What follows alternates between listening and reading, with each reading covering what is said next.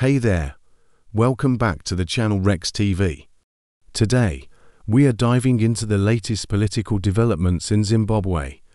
As Susan Mutami has made some bold claims about the power dynamics within the government. In a recent statement, Susan Mutami has reiterated that General Chiwenga is still very much in control of things in Zimbabwe, despite some people calling him weakened. She warns that underestimating him would be a grave mistake, as General Chiwenga is stronger than Mnangagwa.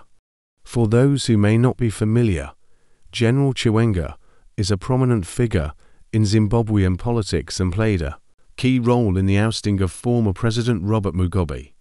He is currently serving as the country's vice president and former Minister of Health.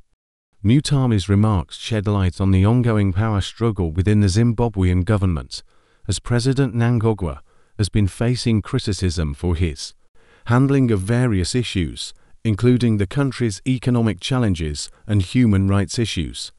It is clear that there are significant divisions within the ruling party, and Mutami's statement adds fuel to the already intense speculation about the true power dynamics at play.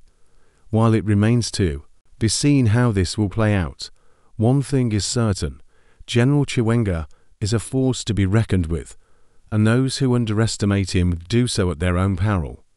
What do you think about Susan Mutami's remarks? Do you agree that General Chiwenga is stronger than Mnangagwa? Let me know your thoughts in the comments below. That's all for today's update.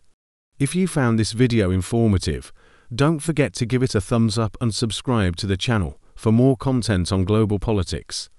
Thanks for watching and I'll see you in the next video.